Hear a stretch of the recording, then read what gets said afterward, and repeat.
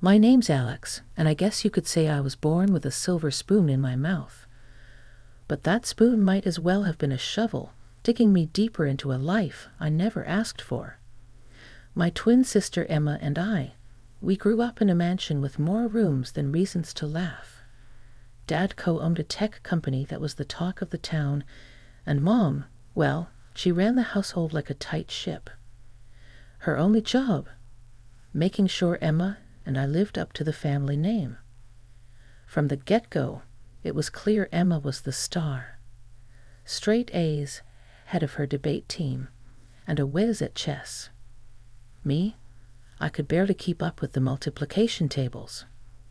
But that didn't stop Dad from pitting us against each other like some twisted version of Survivor, where the loser got grounded from life's little comforts.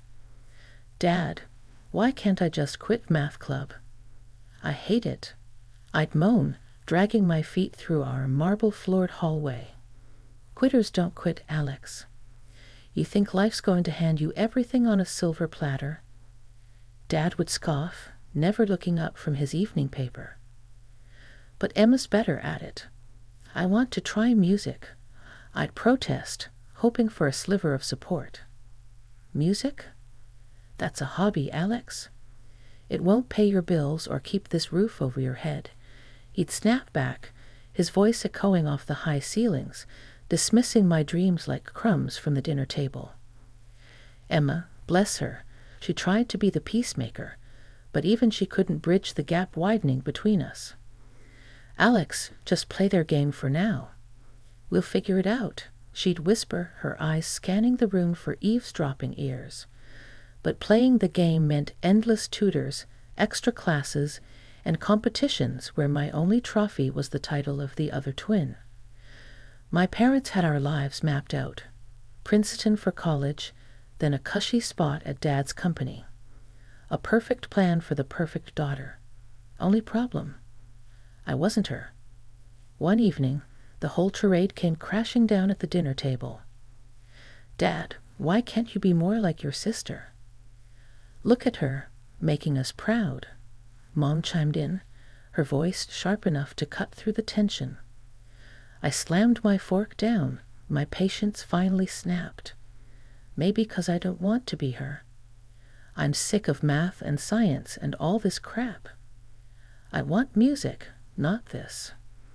The room went silent. Dad's face turned a shade I'd never seen before. He stood, his chair scraping against the floor like a warning bell. You think you have a say in this? You'll do as you're told, or you can find yourself another family who'll put up with this nonsense. He bellowed, his voice booming. Tears stung my eyes, but I refused to let them fall. Emma looked at me, her face a mix of sympathy and fear, a silent plea to just back down. But I couldn't any more. My house felt more like a battleground than home, thanks to Dad's philosophy. Competition breeds success. He wasn't just talking about business. No, he made sure Emma, and I lived it. Every grade, every award was another round in the ring, and more often than not, I was on the losing end. One morning, I remember walking down to breakfast, the smell of pancakes filling the air. It should have been a good start to any day, but not in our house. Not when report cards had come in the day before. Look at this, Dad said, waving Emma's report card in the air like he'd won the lottery. Straight A's, Emma. You're setting the bar high.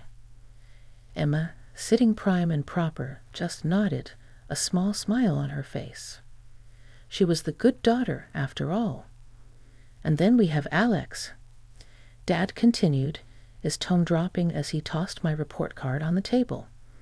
A couple of B's and C's stared back at me, mocking me.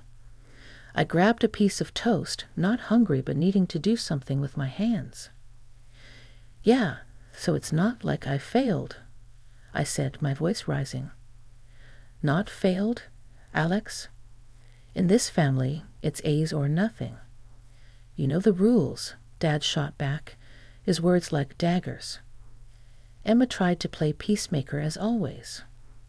Dad, maybe if we helped each other out more instead of competing, we could both do better, she suggested. Dad scoffed. Helping? No, you need to push each other. Only the best for my daughters. I remember looking down at my plate, my appetite gone. So what, since I didn't get straight A's? I don't get lunch today. No lunch. No new clothes. You know the deal, Alex.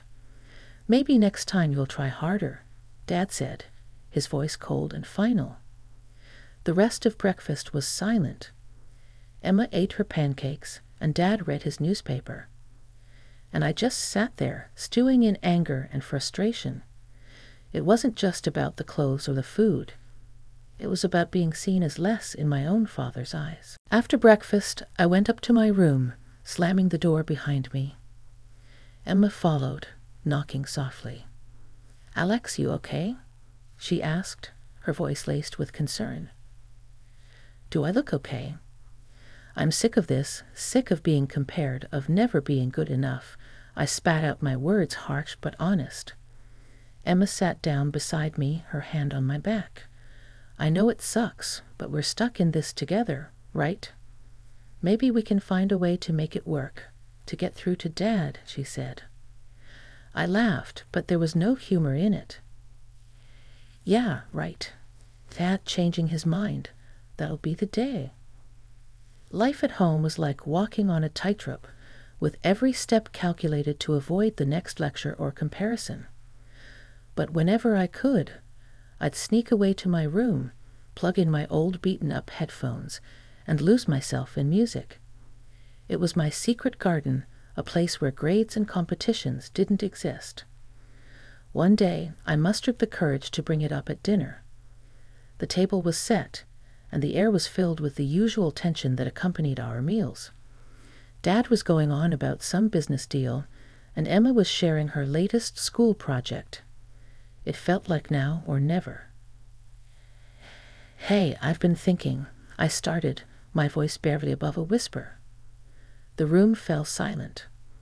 I want to learn music, like really learn it. Maybe take some singing lessons or piano. Dad's fork paused midair, and Mom's gaze snapped to me, her expression a mix of surprise and annoyance. Music, Dad finally said, his voice flat. We've been over this. Your focus should be on your studies, on getting into a good college. But I am focusing. Can't I have something for me, something that actually makes me happy?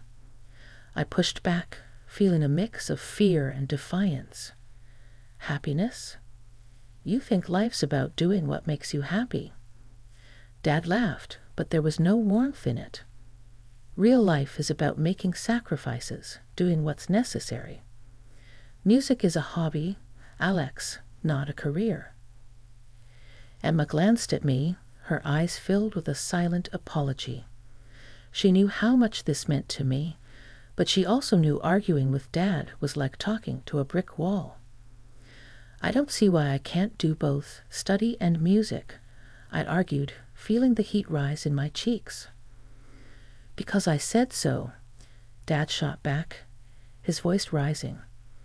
We're not spending money on some whim when you should be improving your grades. End of discussion. Mom nodded in agreement, her usual stance. Your sister is setting the example, Alex. Why can't you just follow her lead? The rest of dinner passed in silence. I barely touched my food, my appetite gone with my dreams.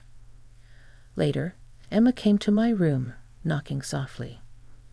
Alex, don't let them get to you. You're talented, and you know it, she whispered, sitting on the edge of my bed. Talented, right. If I was, they'd actually listen to me.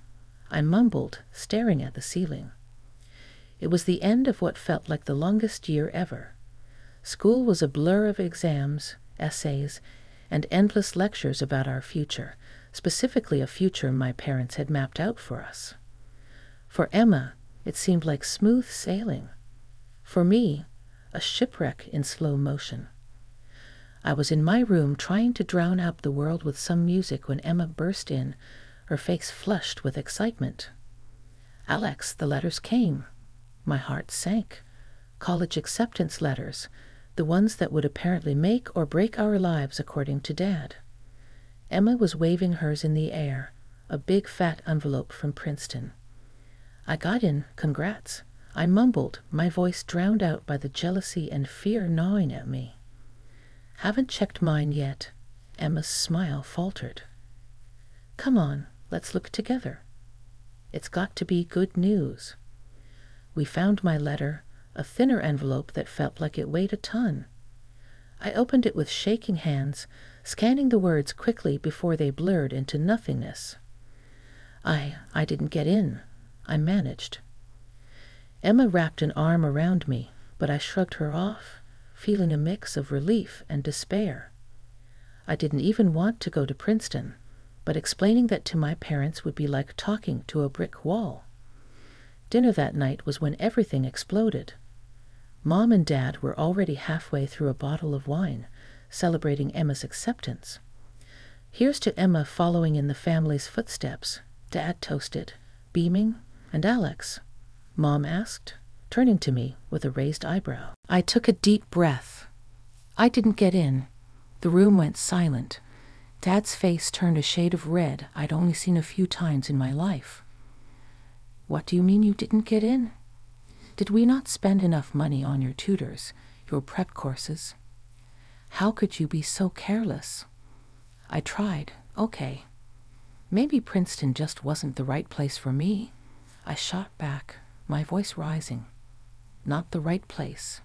Do you hear yourself? You've embarrassed us, Alex, thrown away every opportunity. Dad yelled, slamming his fist on the table. Mom chimed in, her voice cold and sharp. We expected better. Your sister managed just fine. Why can't you? That's enough. I stood up, my chair scraping loudly against the floor. I never wanted Princeton. I never wanted any of this. I want music, not some business degree. Dad looked like he might explode. Music? Is that your excuse? Your disappointment? I felt something inside me snap. Fine, if I'm such a disappointment, maybe I shouldn't be here at all. Dad's eyes narrowed. Is that so? You think you can make it on your own? Fine, there's the door. Don't come back begging when the real world chews you up and spits you out. After the showdown at home, I didn't have much of a plan. Just a bag of clothes and a heart full of broken dreams. But there was one person who had always been my anchor in the stormiest seas, Grandma Jean.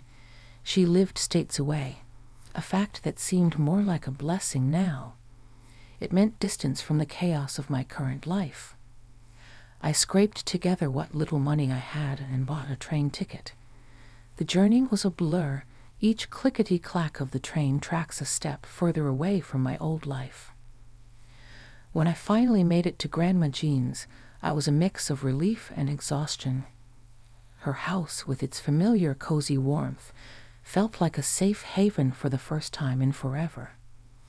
I spilled everything to Grandma the moment I walked through the door. The fight, leaving home, my dreams of music. She listened, her brows furrowing and unfurrowing, her lips pressed into a thin line. Now and then, Alex, you've always been the brave one, she said, her voice soft but firm. Staying true to yourself in a world that wants to change you. That takes guts. But what do I do now, Grandma?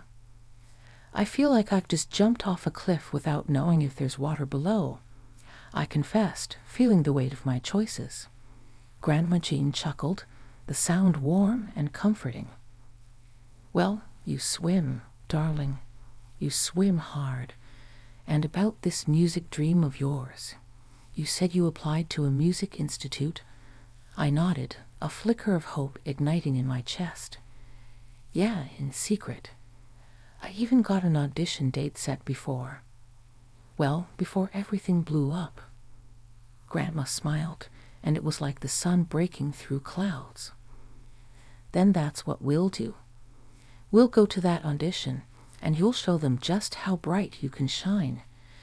The idea was terrifying and exhilarating all at once, but I barely knew the first thing about auditioning.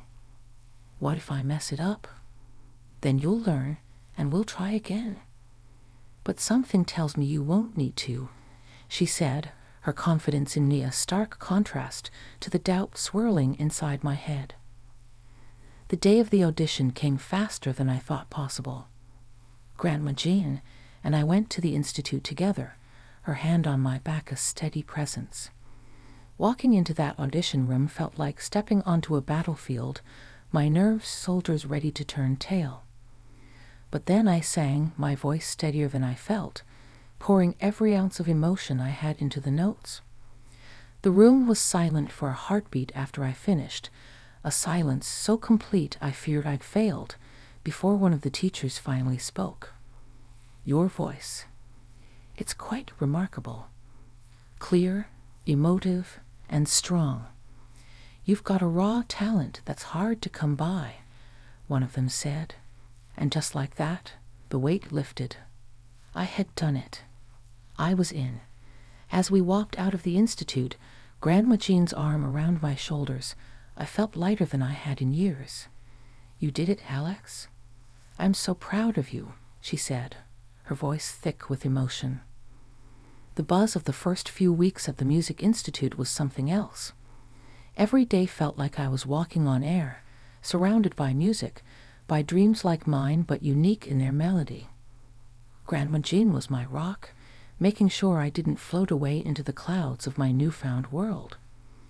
One evening, as I was noodling around on the piano in the common room, trying to get a feel for a tune that had been stuck in my head, a couple of guys walked in. They looked about my age, carrying guitars and a sense of purpose. Hey, that's pretty good. You got a name? One of them, a tall guy with a mop of curly hair, asked. Alex, I replied, a bit taken aback by the sudden company. I'm Luke, and this is Mark. We're trying to put together a band, and we need someone who can handle the keys. You interested? Me in a band? The idea seemed as far fetched as flying to the moon. I don't know. I've never really played with others before. Luke grinned. Perfect. Neither have we. It'll be a grand adventure. Grandma Jean thought it was a fantastic idea. You need to mingle, make friends, and what better way than through the universal language of music? So I joined Luke and Mark, and we started jamming together, finding our sound in the clash and harmony of our instruments. It was raw, exhilarating, and utterly terrifying all at once. One day, after a particularly good session, Mark, ever the dreamer, said, We should record some of this stuff, put it out there, see what happens. Out there, I asked, skeptical. Do you think anyone would even listen? Luke's confidence was infectious. Why not? We've got something good going here. Let's share it. So we did. We recorded a couple of songs, rough around the edges but full of heart, and uploaded them online. I didn't expect much. Why would I? But then something crazy happened. People listened, not just a few, but thousands. Then tens of thousands. The comments poured in, everything from this is amazing to who's the girl on the keys? Her voice is incredible. I couldn't believe it. We had struck a chord, and suddenly our little band wasn't so little anymore. Local gigs started coming in, each venue bigger than the last. The first time we played live, my hands were shaking so much I could barely hit the right notes. But as the music flowed through us, as I looked out at the sea of faces illuminated by the stage lights, something clicked. This was where I was meant to be. After one show, a guy in a suit approached us, a slick smile plastered on his face. You kids have got talent. Ever thought about going professional? We exchanged glances, the unspoken question hanging in the air. Were we ready for this? Grandma Jean's advice was simple Take the chance, Alex. You've got nothing to lose and everything to gain. Just remember who you are and don't let the glitz blind you. So we took the plunge, signing a deal that seemed too good to be true. The gigs got bigger, the crowds louder, and our music spread like wildfire. I was living a dream I hadn't even dared to dream, my voice finding its way into the hearts of strangers. Then one evening, as I was sifting through our latest batch of comments and basking in the surreal glow of it all, my phone buzzed with a call from Emma. Emma, my twin, the other half of me. We'd grown so distant over the years, mired in rivalry and silence. Alex, hey, it's me, she said, her voice hesitant over the line. I paused, taken back. Emma? Well, hi. What's up? I saw you on YouTube with your band. You were amazing, Alex, she confessed, and I could hear the sincerity in her voice, a stark contrast to our last cold exchanges. A warmth spread through me. Really? You think so? Thanks, Em. That means a lot coming from you. There was a pause, and then Emma let out a sigh.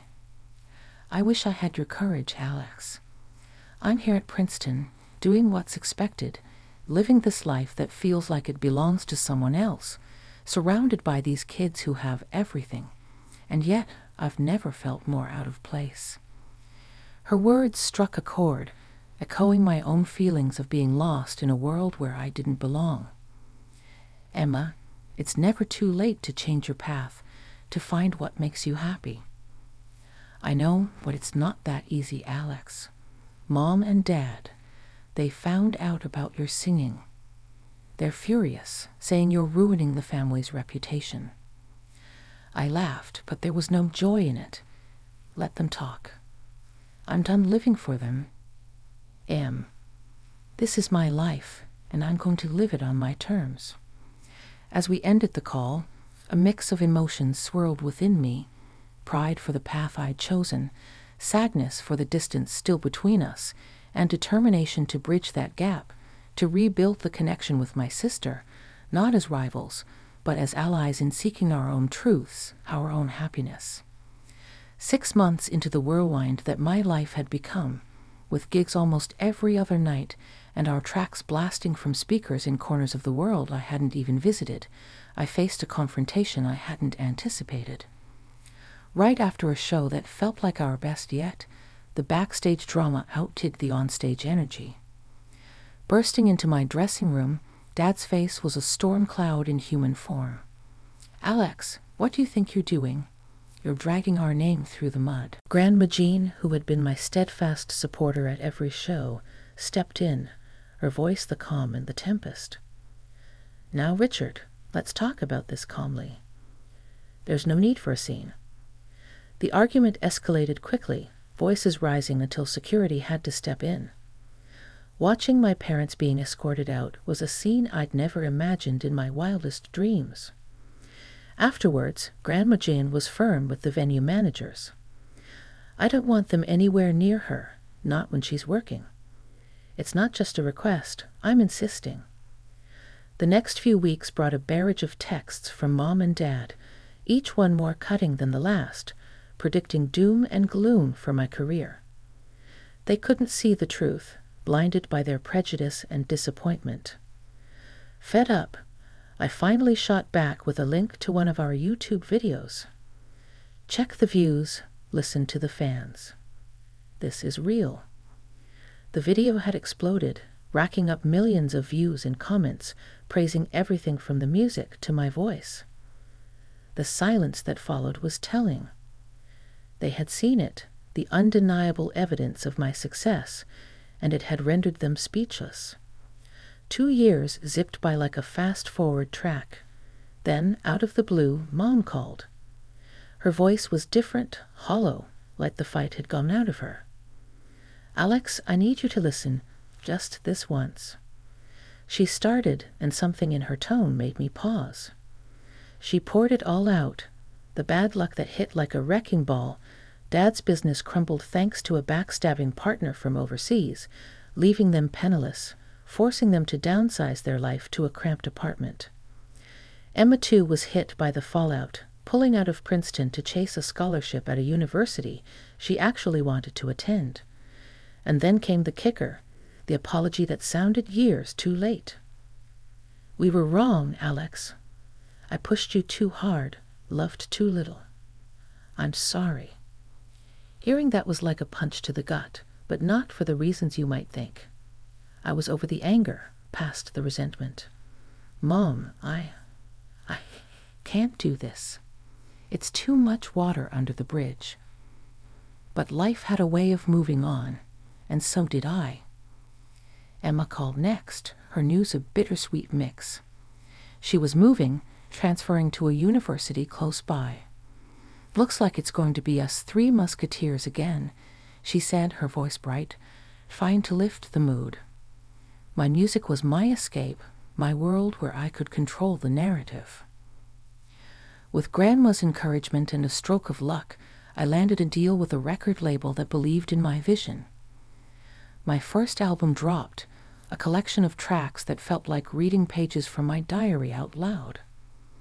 The charity concert in my hometown was a trip down memory lane, a reminder of where I started and how far I come. After the show, there they were, Mom and Dad. Time hadn't been kind. The years had carved deep lines of hardship across their faces. They wanted to talk, probably to bridge the chasm that had opened up between us, or maybe, as I suspected, because they were in need. I watched them for a moment, a flood of memories washing over me before turning away.